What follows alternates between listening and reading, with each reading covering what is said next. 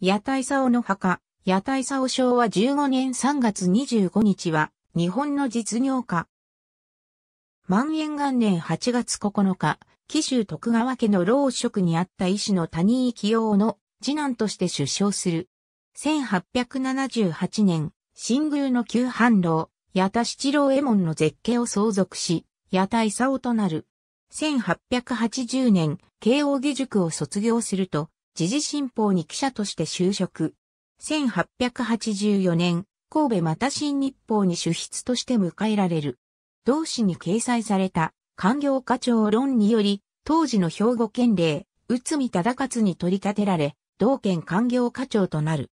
さらに、1887年には、中見川彦次郎の山陽鉄道の運輸課長となった。その後、三井銀行専務理事となった中見川に従って、同行秘書課長となる。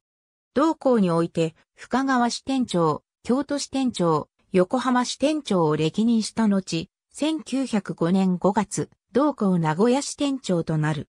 同支店においては、福沢桃助の名古屋進出に際しての資金調達に協力するなどしている。1915年、同行監査役となったが、翌年、団卓馬により、東進倉庫常務となる。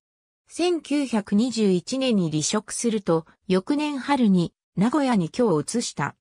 ヤタは日本の中心商工都市としての名古屋の成長を手伝いたいとの思いにより、名古屋を永住の地として選んだという。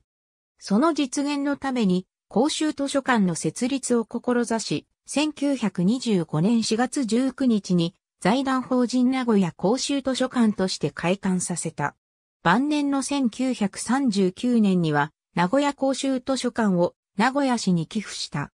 同年12月24日に病に倒れ、名古屋帝国大学医学部附属病院に入院したが、翌年3月25日に、喉頭癌により亡くなった。ありがとうございます。